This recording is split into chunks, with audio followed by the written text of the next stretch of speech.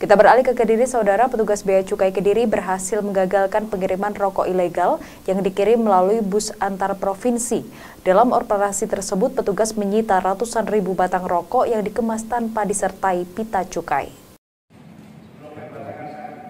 Puluhan kardus rokok ini sebelumnya disita petugas Bea Cukai Kediri di ruas Jalan Tol Kertosono. Rokok-rokok ini disita setelah tidak dilengkapi pita cukai. Terbongkarnya pengiriman rokok ilegal itu diawali dari laporan rekanan Bea Cukai Kediri yang bergerak di bidang jasa pengiriman barang. Rokok ilegal itu dikirim dari daerah Madura menuju Banten dengan menggunakan bus antar provinsi. Total ada 816 ribu batang rokok ilegal atau senilai 900 juta rupiah yang disita petugas.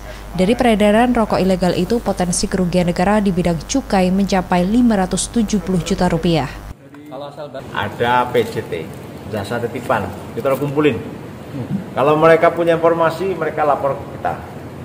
Ada indikasi barang-barang kena cukai yang ilegal. Nggak hanya rokok miras juga sama. Ya miras tradisional banyak beredar dipaketkan nah itu kita kita tegah dari informasi mereka. Kita juga bekerja sama dengan PO bus. Kalau mereka angkut barang-barang rokok indikasinya ilegal mereka juga menyampaikan kita untuk uh, apa uh, ya aware lah. Artinya pengungkapan ini juga hasil kerjasama dengan uh, ada informasi pengangkutan melalui uh, bus ya kan, makanya kita kita kejar. Ya. Sementara itu petugas Bea Cukai Kediri terus menyelidiki runtutan temuan rokok ilegal tersebut. Tim Liputan Kompas TV, Kediri, Jawa Timur.